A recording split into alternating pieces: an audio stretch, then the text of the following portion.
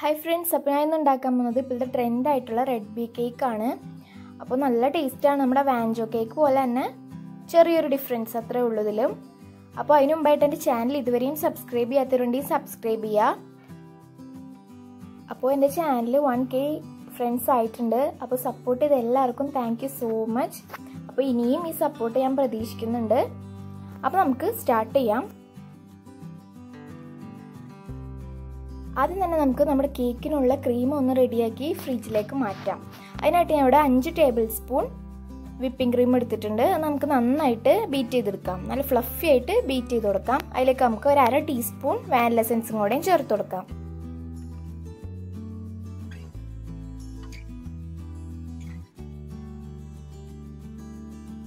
അപ്പോൾ നന്നായിട്ട് ബീറ്റ് ചെയ്ത് വന്നിട്ടുണ്ട്. ഇനി നമുക്ക് ഇതിലോട്ട് രണ്ട് tablespoon white chocolate melt ചെയ്തും കൂടെ ഇട്ട് നന്നായിട്ട് ബീറ്റ് ചെയ്ത് കൊടുക്കാം. ഇനി നമുക്കിത് ഫ്രിഡ്ജിലേക്ക് വയ്ക്കാം അപ്പോൾ നമുക്ക് ആദ്യം തന്നെ റെഡ് വെൽവെറ്റ് സ്പോഞ്ച് റെഡിയാക്കി എടുക്കാം. അതിനായിട്ട് നമുക്ക് ബട്ടർ മിൽക്ക് റെഡിയാക്കണം അപ്പോൾ ഞാനിവിടെ ഒരു കാൽ കപ്പ് പാൽ എടുത്തിട്ടുണ്ട്.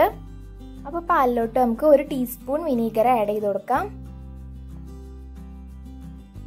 ഇനി നമുക്കിതൊന്ന് മിക്സ് ചെയ്ത് കൊടുക്കാം. അപ്പോൾ കണ്ടാൽ തന്നെ മനസ്സിലാവും. നമ്മൾ ബട്ടർ മിൽക്ക് ഇവിടെ റെഡി ആയിട്ടുണ്ട്. ഇനി നമുക്ക് ഇതിലോട്ട് കുറച്ച് റെഡ് ഫുഡ് കളർ ചേർത്ത് കൊടുക്കാം. ഇവിടെ ടൊമാറ്റോ റെഡ് ആണ് എടുത്തേക്കുന്നത്. ഇനി നമുക്കിതങ്ങ് മാറ്റി വെക്കാം. ഞാൻ ഒരു പാത്രത്തിലോട്ട് ഒരു മുട്ട പൊട്ടിച്ചൊഴിച്ചിട്ടുണ്ട്. ഇനി നമുക്ക് നന്നായിട്ടൊന്ന് ബീറ്റ് ചെയ്ത് കൊടുക്കാം. അര കപ്പ് പൊടിച്ച പഞ്ചസാര നമുക്ക് കുറച്ച് കുറച്ചായിട്ട് ഇട്ട് മിക്സ് ചെയ്ത് കൊടുക്കണം.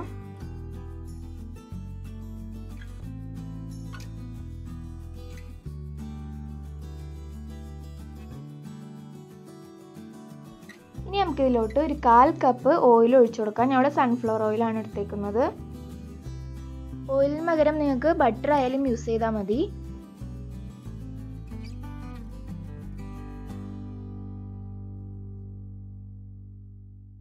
ഇനി നമുക്ക് ഇതിലോട്ട് നമ്മൾ റെഡിയാക്കി വെച്ച ബട്ടർ മിൽക്ക് ഒഴിച്ചു കൊടുക്കാം.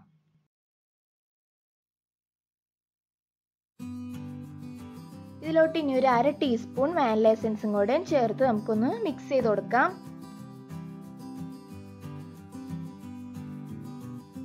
ഇനി നമുക്ക് റെഡ് വെൽവെറ്റിനുള്ള ഡ്രൈ ഇൻഗ്രീഡിയൻസ് റെഡിയാക്കാം അതിനായിട്ട് ഞാൻ ഇവിടെ അര കപ്പ് മൈദ എടുത്തിട്ടുണ്ട്. അതിൽ നമുക്ക് ഒരു ടീസ്പൂൺ മാറ്റി കൊടുക്കാം. ആ മാറ്റി സ്ഥാനത്തേക്ക് നമുക്ക് ലൈറ്റ് കോക്കോ പൗഡർ ആഡ് ചെയ്ത് കൊടുക്കാം. ഒരു ടീസ്പൂൺ ഇനി നമുക്ക് ഇതിലോട്ട് അര ടീസ്പൂൺ ബേക്കിംഗ് പൗഡറും കാൽ ടീസ്പൂൺ ബേക്കിംഗ് സോഡ അതുപോലെ തന്നെ ഒരു പിഞ്ച് ഉപ്പും കൂടെയും ചേർത്ത് കൊടുക്കാം.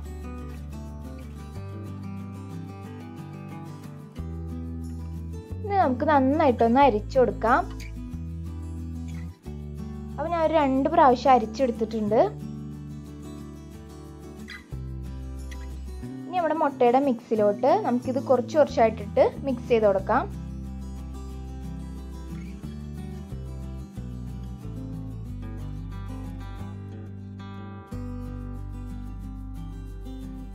അപ്പോൾ നന്നായിട്ട് മിക്സായി കിട്ടിയിട്ടുണ്ട്. ഇനി നമുക്കിത് ബേക്ക് ചെയ്യാൻ വെക്കാം. അപ്പോൾ ഇരുപത്തഞ്ച് മിനിറ്റ് മീഡിയം ഫ്ലെയിമിലിട്ടാണ് ഞാൻ വെക്കണേ. അപ്പോൾ ഞാൻ ഇവിടെ കേക്ക് ടിൻ ബട്ടർ പേപ്പറും ഓയിലൊക്കെ ഗ്രീസ് ചെയ്തൊന്ന് റെഡിയാക്കി എടുത്തിട്ടുണ്ട്. ഇനി നമുക്ക് ടാപ്പ് ചെയ്ത് കൊടുക്കണം. എന്നിട്ട് നമുക്ക് പ്രീ ഹീറ്റ് ചെയ്യാൻ വെച്ച പാത്രത്തിലോട്ട് നമ്മുടെ മിക്സ് ഇറക്കി വെച്ച് കൊടുക്കാം. അപ്പോൾ പ്രീ ഹീറ്റ് ചെയ്യാൻ എങ്ങനെയാണെന്ന് വെച്ച് കഴിഞ്ഞാൽ അത് നമ്മുടെ വാനില കേക്കിന്റെ വീഡിയോയിൽ ഞാൻ കാണിച്ചിട്ടുണ്ട്. ഇനി നമുക്ക് വാനില ആൻഡ് ചോക്ലേറ്റ് സ്പോഞ്ചിനുള്ളത് റെഡിയാക്കാം അപ്പം ഞാൻ നാല് മുട്ട എടുത്ത് നന്നായിട്ട് ബീറ്റ് ചെയ്ത് കൊടുത്തിട്ടുണ്ട്.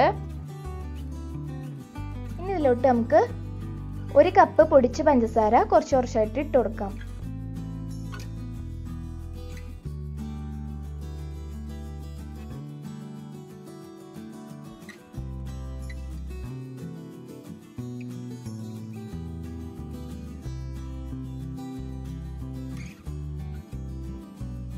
പഞ്ചസാര ഫുള്ളായിട്ടിട്ട് മിക്സ് ചെയ്ത് കൊടുക്കണം.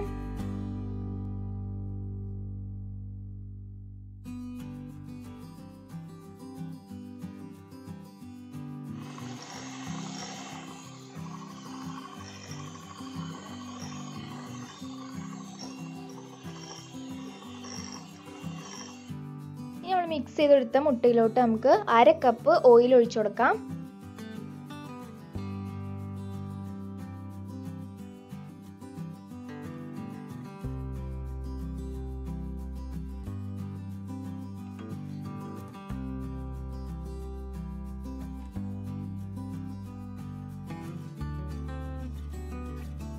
ഇനി നമുക്ക് ഒരു ടീസ്പൂൺ വാനില എസൻസും കൂടെ ചേർത്ത് കൊടുക്കാം.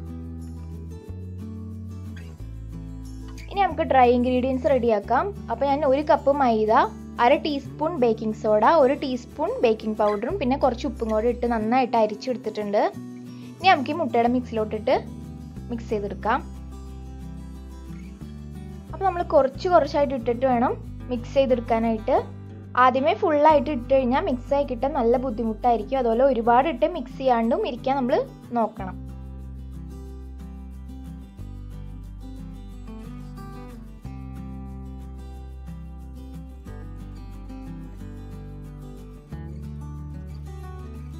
അപ്പോൾ നമ്മൾ നന്നായിട്ട് മിക്സ് ചെയ്തെടുത്തിട്ടുണ്ട്. ഇനി നമുക്കിതിന്റെ പകുതി വേറൊരു പാത്രത്തിലോട്ട് മാറ്റി കൊടുക്കാം.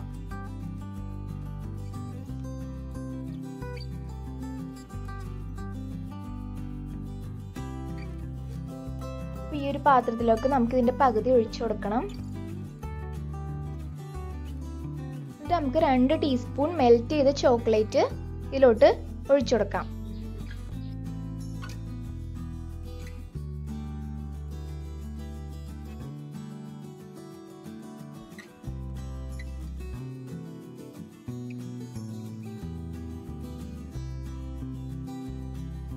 അപ്പോൾ ഒരു ഇരുപത്തഞ്ച് മിനിറ്റ് ആയപ്പോഴേക്കും നമ്മുടെ റെഡ് വെൽവെറ്റ് സ്പോഞ്ച് ഇവിടെ റെഡി ആയിട്ടുണ്ട്.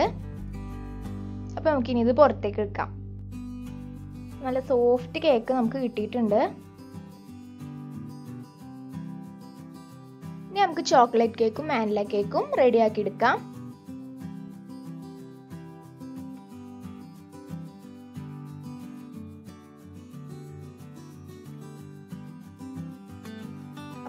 പതിനഞ്ച് മിനിറ്റ് മീഡിയം ഫ്ലെയിമിലിട്ട് കുക്ക് ചെയ്തെടുത്തിട്ടുണ്ട്. നന്നായിട്ട് വെന്ത് കിട്ടിയിട്ടുണ്ട് നമുക്ക്. നമ്മൾ ചോക്ലേറ്റ് കേക്ക് വെച്ച സെയിം ടൈമിൽ നമുക്ക് വാനില കേക്കും കൂടെ റെഡിയാക്കി എടുക്കാം. അപ്പോൾ നമ്മൾ റെഡ് വെൽവെറ്റ് കേക്കിന് മാത്രമാണ് കുറച്ച് ടൈം എടുത്തിട്ടുള്ളൂ. റെഡ് വെൽവെറ്റ് സ്പോഞ്ച് ഇരുപത്തഞ്ച് മിനിറ്റും അതുപോലെ തന്നെ ഇത് രണ്ടും പതിനഞ്ച് മിനിറ്റേ നമ്മൾ എടുത്തിട്ടുള്ളൂ. ഇനി നമുക്ക് നമ്മുടെ കേക്ക് ഒന്ന് സെറ്റ് ചെയ്ത് കൊടുക്കാം. അപ്പോൾ ആദ്യം തന്നെ ഞാൻ റെഡ് വെൽവെറ്റ് സ്പോഞ്ചാണ് വെച്ചേക്കുന്നത്. ഇനി നമുക്കിത് ഷുഗർ സിറപ്പൊക്കെ ഒഴിച്ചൊന്ന് വെറ്റാക്കി കൊടുക്കാം. ഇനി നമ്മൾ റെഡിയാക്കി വെച്ച വിപ്പിംഗ് ക്രീമും കൂടെ നമുക്ക് ഫുള്ളായിട്ട് തേച്ച് കൊടുക്കാം.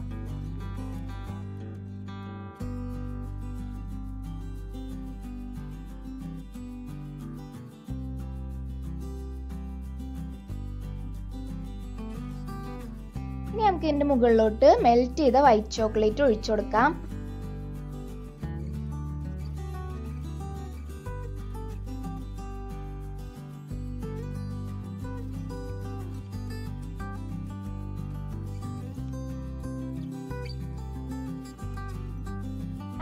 മുകളിലായിട്ട് നമുക്ക് ഗ്രേറ്റ് ചെയ്ത് കുറച്ച് ചോക്ലേറ്റും കൂടെ ഇട്ട് കൊടുക്കാം.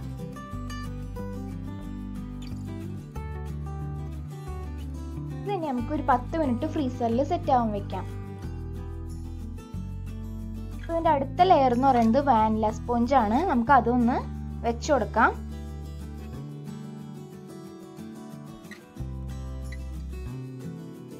നമ്മൾ നേരത്തെ ചെയ്ത പോലെ തന്നെ ഷുഗർ സിറപ്പൊക്കെ ഒന്ന് ഒഴിച്ചു കൊടുക്കാം.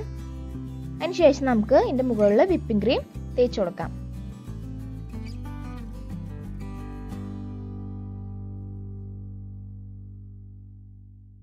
മുകളിലേക്ക് നമുക്ക് വൈറ്റ് ചോക്ലേറ്റ് മെൽറ്റ് ചെയ്ത് ഒഴിച്ചു കൊടുക്കാം. അതിനുശേഷം നമ്മൾ നേരത്തെ ചെയ്ത പോലെ തന്നെ കുറച്ച് ഗ്രേറ്റ് ചെയ്ത ചോക്ലേറ്റും കൂടെ ഇട്ട് കൊടുക്കാം.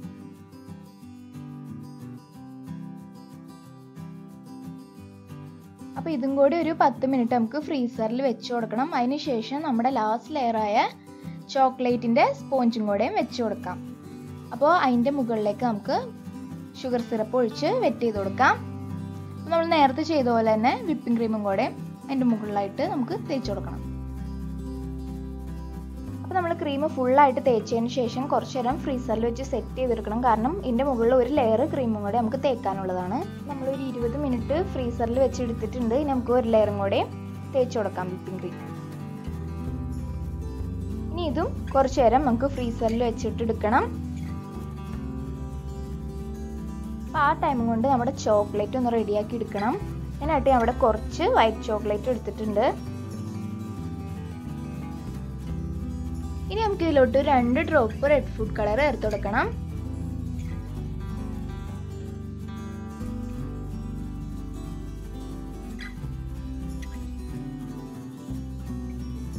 അപ്പോൾ ആ ഫ്രീസറിൽ നിന്നൊക്കെ എടുത്തിട്ടുണ്ട് നന്നായിട്ട് സെറ്റായി കിട്ടിയിട്ടുണ്ട്. ഇനി നമുക്ക് ഇതിന്റെ മുകളിലേക്ക് വൈറ്റ് ചോക്ലേറ്റ് ഒഴിച്ചു കൊടുക്കാനുള്ളതാണ്. ഞാൻ കുറച്ച് ബട്ടർ ഒരു രണ്ട് ടീസ്പൂൺ ബട്ടറും കൂടി ഇട്ടിട്ട് മെൽറ്റ് ചെയ്തെടുത്തിട്ടാണ് ഒന്ന് ഗ്ലേസും കിട്ടാൻ വേണ്ടിയിട്ട്. അപ്പോൾ വൈറ്റ് ചോക്ലേറ്റ് നമുക്ക് ഫുള്ളായിട്ട് ഒന്ന് ഒഴിച്ചു കൊടുക്കണം. അതിന് ശേഷം നമ്മൾ റെഡി ആക്കി വെച്ച റെഡ് ഫുഡ് കളർ ഒഴിച്ച വൈറ്റ് ചോക്ലേറ്റിന്റെ മിക്സും കൂടി നമുക്ക് ഇതുപോലെ ഒന്ന് ചെയ്ത് കൊടുക്കാം. അതിനുശേഷം നമ്മൾ മെൽറ്റ് ചെയ്ത ഡാർക്ക് ചോക്ലേറ്റിന്റെ മിക്സും കൂടെ ഇതുപോലെ ഒന്ന് ആക്കി കൊടുക്കാം. അതിനുശേഷം നമുക്ക് ടൂത്ത് പിക്ക് എന്തെങ്കിലും വെച്ച് നമുക്ക് ഇഷ്ടമുള്ള ഡിസൈൻ ഇതുപോലെ ഒന്ന് ചെയ്തു കൊടുക്കാം.